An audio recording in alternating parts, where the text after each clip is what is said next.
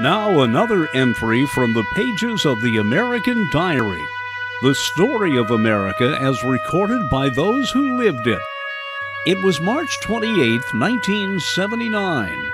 A major accident happens at Pennsylvania's Three Mile Island nuclear plant. Although the incident was contained, it sparked renewed anti nuclear protests. The American Diary, I'm Dennis Daily.